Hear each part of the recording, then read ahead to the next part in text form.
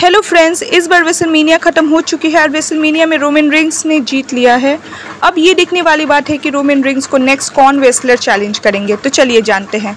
तो मैं हूँ आपकी दोस्त और आप देख रहे हैं डब्ल्यू डब्ल्यू ए विथ इस्ट्रिया तो रोमन रिंग्स को हमने देखा वेसलमीनिया में कोडी रोड को रोमन रिंग्स ने हरा दिया। जैसा कि मैंने कहा था अपने पहले वाले वीडियो में कि रोमन रिंग्स ही जीतेंगे। जब मैंने देखा था कोडी रोड एंड रोमन रिंग्स का जब चैलेंज हुआ था, तभी उसी टाइम ही मैंने ये कह दिया था कि रोमन रिंग्स ही जीतेंगे, क्योंकि रोमन रिंग्स के पास उसके भाई लोग हैं, उसको बहुत ज़्यादा सपोर्ट करते हैं।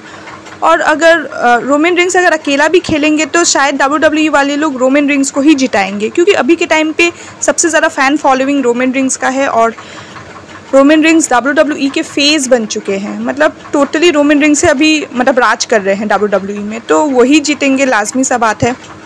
अब ये देखने वाली बात है कि अब रोमन रिंग्स को कौन वेस्लर चैलेंज करेंगे?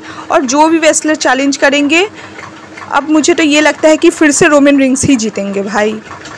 तो चलिए टॉप फाइव से हम लोग नाम काउंट करते हैं। तो सबसे पहले मुझे ऐसा लगता है Brock Lesnar. Brock Lesnar Roman Reigns को चैलेंज कर सकते हैं। फोर्थ नाम है ट्रू मेकन टायर का। ट्रू मेकन टायर भी रोमन रिंग्स को चैलेंज कर सकते हैं। हमने बहुत पहले देखा था Roman Reigns versus Drew McIntyre लेकिन अब लगता है डब्ल्यू डब्ल्यू ई वाले रोमन रिंग्स के साथ ट्रू मेकन टायर के मैच करवा सकते हैं।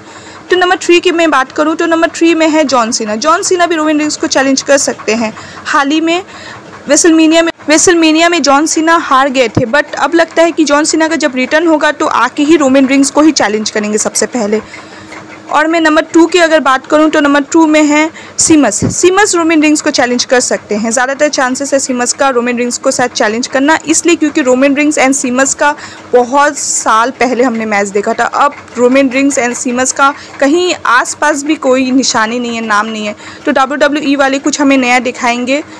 तो हो सकता है सीमस को ही चैलेंज करवा सकते हैं रोमन रिंग्स के साथ और हमें मैच देखने को मिल सकता है सीमस के साथ। मैं नंबर वन की बात करूँ तो नंबर वन में है रेंडी ओटेन रेंडी ओटेन मतलब रिटर्न होने वाले थे वेसलमीनिया में, लेकिन रिटर्न नहीं हुए। लगता है कि अब रिटर्न होंगे तो आपको क्या लगता है इस पाँचों में से कौन रोमन रिंग्स के पास आकर चैलेंज करेगा और आप किसको चाहते हैं रोमन रिंग्स के साथ मैच हो, हमें कमेंट करके ज़रूर बताइए।